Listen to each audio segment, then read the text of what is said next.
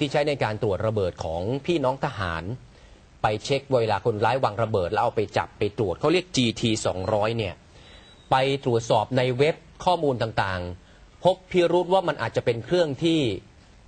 อธิบายอวดอ้างสรรพคุณเกินจริง พูดง่ายๆก็คือมันตรวจระเบิดได้ไม่จริง มันจะมีผลกระทบต่อชีวิตของทหารและประชาชน เวลาคนร้ายวางระเบิดเอาเครื่องไปตรวจ เครื่องมันฟ้องว่าไม่มี แต่ระเบิดดันระเบิดขึ้นมา ปรากฏตอนนี้เนี่ยตามรายงานเขาบอกในประเทศไทยมีการสั่งเครื่องนี้เข้ามาใช้ร่วมพันเครื่องนะฮะขณะเดียวกันยังไม่พอมีเครื่องอีกตัวหนึ่งที่กระทรวงมหาดไทยประกาศก็คือ Alpha 6 Alpha 6 เป็นเครื่องตรวจยาเสพติด การตรวจยาเสพติด มหาดไทยบอกว่าจำเป็นต้องสั่งเครื่องนี้เข้ามาล่าสุดล็อตแรกใน700 เครื่องเอาไว้ตรวจยาเสพติดอาจจะใช้ช่วงปีใหม่นักวิทยาศาสตร์ไปเช็คข้อมูลก็พบว่าเครื่องนี้ มีแนวโน้มว่ามันอาจจะตรวจได้ไม่จริงเหมือนกัน พูดง่ายๆก็คือว่าถ้าเกิดประชาชนขับรถอยู่ช่วงปีใหม่ แล้วไปเจอเจ้าหน้าที่เอาเครื่องนี้เข้ามาตรวจแล้วฟ้องว่าติด หรือมียาเสพติดกลายเป็นผู้ต้องหาเลยทั้งทั้งที่เครื่องนี้ต่างประเทศเขาบอก มันเชื่อไม่ได้นี่เรื่องใหญ่นะฮะคุณผู้ชมฮะมันเป็นงบประมาณแผ่นดิน เป็นความปลอดภัยของพี่น้องทหารข้าราชการรวมทั้งประชาชนคนไทย เราเชิญนักวิทยาศาสตร์สองท่านมาอธิบายเรื่องนี้ครับว่ามันเกิดอะไรขึ้นครับแนะนำท่านแรกผู้ช่วยศาสตราจารย์ดรเจษดาเด่นดวงบริพันธ์ครับอาจารย์คณะวิทยาศาสตร์จุฬาลงกรณ์มหาวิทยาลัยฮะ ท่านที่สองครับ คุณจุลาพิทยาพินันท์นิสิตปริญญาเอกคณะวิทยาศาสตร์จุฬาลงกรณ์มหาวิทยาลัยนะครับสวัสดีทั้งสองท่านครับสวัสดีครับครับวันนี้เราคุยกันเรื่องก็คือเป็นเรื่องที่เราห่วงใยชีวิตครับพี่น้องทหารด้วยนะครับครับ ประชาชน เพราะว่าเราซื้อเครื่องมือนี้มาแต่ตามรายงานคือต่างประเทศเขาวิพากษ์วิจารณ์ว่าเครื่องมือนี้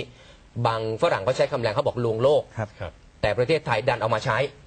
ชักจะยุ่งเหมือนกันอาจารย์ลำดับให้ดูนิดหนึ่งอะไรที่เป็นให้ดูให้ดูก่อนนะฮะ GT 200 คืออะไรครับอาจารย์ฮะครับ เครื่องตรวจระเบิดหน้าตาเป็นไงครับเดี๋ยวคุณจุฬาช่วยโชว์หน่อยอ่าครับนี่อันนี้นะฮะที่ทหารไทยใช้อยู่นะฮะ คือคงจะคุ้นๆจากภายในภาพเมื่อกี้ในวิดีโอนะครับว่าเป็นครับลักษณะเหมือนกับมีเครื่องแล้วก็เดินถือนะครับแล้วมีเข้เสาไปอากาศครับยื่นมีมาเสาอากาศยื่นออกมา แล้วก็เออเข้าไปในพื้นที่เนี่ยแล้วถ้าเกิดพบในสิ่งที่เราสงสัยนะครับเช่นว่าเขาก็จะมีการ์ดเล็กๆอยู่ข้างๆนะครับเป็นเป็นแผ่นเนี่ยครับแล้วก็ใส่เข้าไปในเครื่องอืมแล้วถ้าสงสัยว่าอ่ามีระเบิดอยู่ก็ใส่การ์ดระเบิดเข้าไปเออแล้วก็หวังว่าเดินเข้าไปเนี่ยก็เข็มก็จะชี้ไปทางทิศที่มีระเบิด แล้วเข้าไปตรวจค้นนะครับฮะทีนี้เอ่อเราก็เห็นภาพนี้หลายครั้งที่ดังๆอย่างเคสสติก้าเนี่ยดังมากหรือว่าตอนที่ระเบิดพันธมิตรก็จะเห็นเครื่องพวกนี้ออกมาครับ ในความรู้สึกผมในเชิงนักวิทยาศาสตร์ตอนแรกผมก็คิดว่าโอ้เราคงมีเครื่องมือที่ค่อนข้างมหัศจรรย์มาก แล้วก็ซื้อเข้ามาในใช้ในบ้านเราอืมคิดว่าข้างในคงจะมีวงจรอิเล็กทรอนิกส์เยอะแยะอืมอาจจะมีเครื่องที่แบบละเอียดอ่อน หรือว่าครับตรงปลายหัวเนี่ยคิดว่าเป็นหัวครับเซ็นเซอร์พิเศษเขาเขาเขาอธิบายสรรพคุณว่าไงฮะเครื่องนี้จริงเอ่อคนก็ขายเนี่ยฝรั่งเนี่ยเขาครับเขาอธิบายว่าคือสามารถใช้ตรวจ ระเบิดได้เกือบทุกชนิดนะครับสารประกอบระเบิดทั้งหมด เออยาเสพติดก็ได้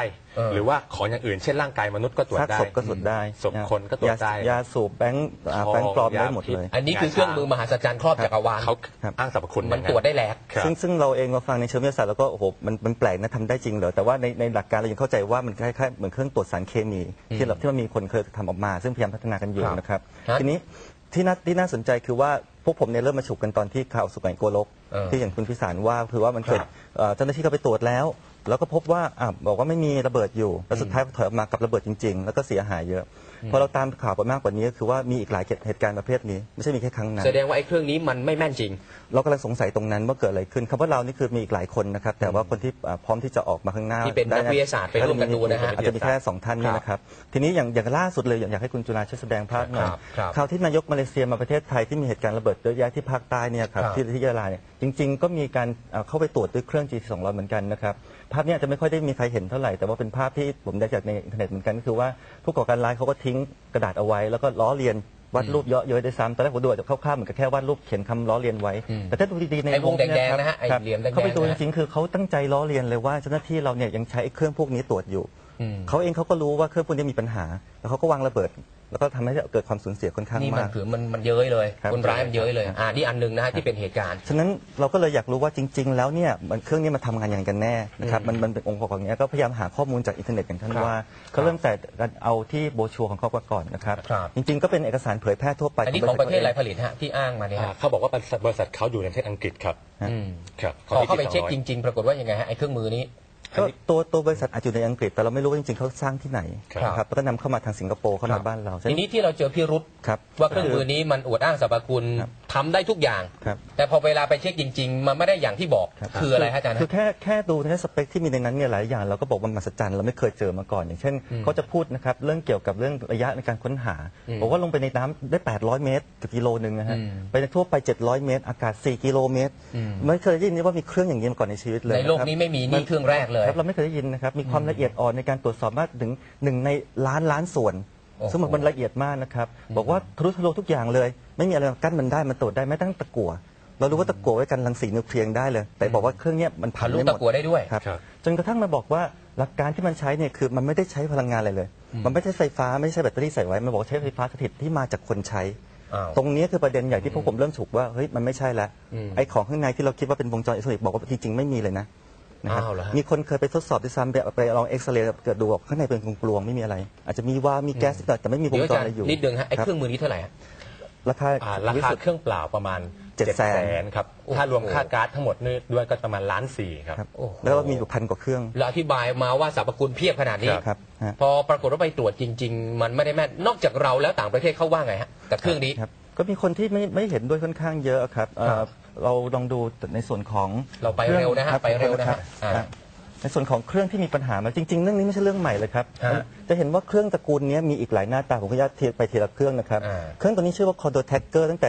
1996 หลายปีมาแล้วนะครับ เครื่องนี้เอาเข้ามาที่อเมริกาเยอะมาก จะเห็นว่าหน้าตาดีกว่าเครื่อง GT 200 อีกอืมคือมีสายระยงระยางต่อไปที่กล่องข้างล่างนะครับดูเหมือนมันมีวงจรไฟฟ้าอ่าฮะแต่ว่า FBI เขาเข้าไปตรวจแล้วเขาพบว่ามันไม่มีอะไรเลย มันหลวงๆธรรมดาครับแล้วเขาก็จับไปเรียบร้อยแล้วบริษัทก็ปิดหก็นีไปคือเรียบร้อยแล้วไปหลอกเขาอะครับไปหลอกขาย มีอันอื่นดีไหมครับฮะมีที่เยอะเลยล้าๆครับฮะมีหลายตัวก็จะมีเครื่องชื่อ Sniffet นะครับครับ และตัวนี้น่าสนใจว่าฐานไทยก็ใช้อยู่เหมือนกันไม่ใช่มีแค่ GT 200แล้วมีตัวนี้เหมือนกันแล้วหลักการมันก็เดะมีเครื่องมีแก้นยื่นออกไปอ้าวแล้วก็คนไทยหมุนก็ใช้หมุนด้วย แล้วก็ใช้อยู่ด้วยนะครับ อืมซึ่ง แต่ FBI เขาจับไปแล้วว่ามันครับมันมันภาษาชาวบ้านก็คือหลอกครับหลอกในขาย ในส่วนของ Sniffet เนี่ยนะครับเป็นส่วนของอ่าราชนาวีอังกฤษอ่าอเมริกาครับครับเขาทำการทดสอบอย่างละเอียดเลยเขาครับจัดการทดสอบแบบเพศเขาเรียก double blind คือว่าคนซ่อนก็คนซ่อนของเนี่ยก็ไม่รู้ว่าซ่อนอ่าไม่รู้ว่าใครจะเข้ามาเช็ค คนเช็คก็ไม่รู้ว่าซ่อนตรงไหน แล้วก็ทำซ้ำๆซ้ำๆยี่สิบสามสิบครั้ง ครับได้คำตอบที่น่าสนใจคือว่าสุดท้ายแล้วเนี่ยมันได้ที่50เปอร์เซ็นต์อืม ห้าสิบเปอร์เซ็นต์เนี่ยคนอาจจะคิดว่าโอ้ประสิทธิภาพดีนะห้าสิบเปอร์เซ็นต์ห้าสิบเปอร์เซ็นต์มันแปลว่าแค่โยนเหรียญหัวก้อยเอง ก็คือเสี่ยงเดาสุ่มเอาเลยฮะอืม ประสิทธิภาพที่ดีต้องมากกว่า 50%ขึ้นไปฉะนันจริง ๆ แล้วเขาบอกเลยว่าเรื่องนี้ใช้ไม่ได้นะครับ